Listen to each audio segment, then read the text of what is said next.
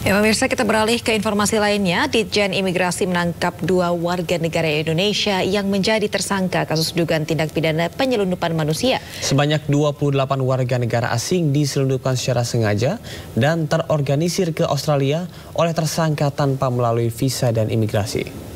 Dijen Imigrasi menangkap dan menahan dua orang WNI tersangka kasus penyelundupan orang ke Australia. Keduanya menyelundupkan 23 warga negara Bangladesh, empat warga negara Cina, dan seorang warga negara India yang merupakan imigran ilegal menuju Australia pada 7 Agustus lalu.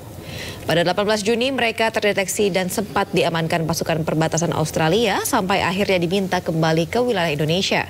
Mereka kemudian ditemukan terdampar di pantai Muara Cikaso, Sukabumi, Jawa Barat pada 29 Juni oleh warga setempat dan diduga melanggar aturan keimigrasian. Kami melakukan pendalaman dengan melakukan permintaan keterangan, akuisisi dan eksaminasi digital, serta berkoordinasi dengan pemerintah Australia dengan hasil ditemukan fakta dan bukti permulaan yang cukup terjadinya tindak pidana keimigrasian.